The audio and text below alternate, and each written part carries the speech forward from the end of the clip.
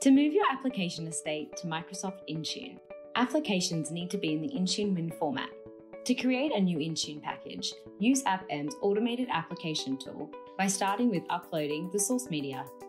Complete your file details, set the action as wrap to Intune Win, select either Windows 10 or Windows 11 as your build, specify any prerequisites, and upload a zipped source file. AppM will integrate a zip file, run the virtual machine, and then begin the packaging process.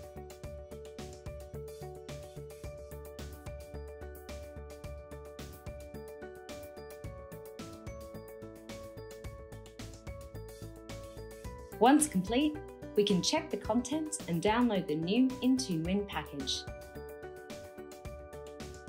Visit Juriba.com and sign up to AppM's free 30-day trial to automate and create new Intune Win packages for Microsoft Intune today.